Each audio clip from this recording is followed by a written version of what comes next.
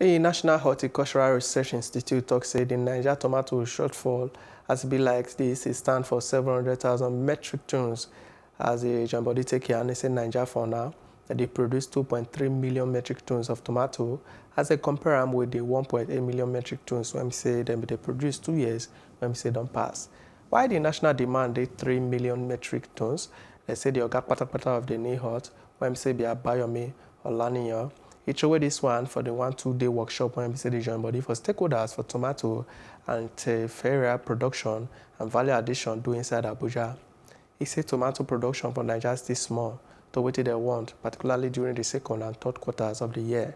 Olaniyan he talks say one of the major reasons for the fall our post-harvest losses. And they say about 40% of the tomatoes when they they produce inside Nigeria, they waste at times. Another reason for the fall for suppliers in NIHORT or Gatekian he say na tomato nursery practices when we say not today.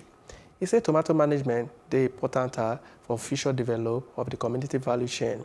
Olania say nursery na basic need and a way to produce quality seedlings.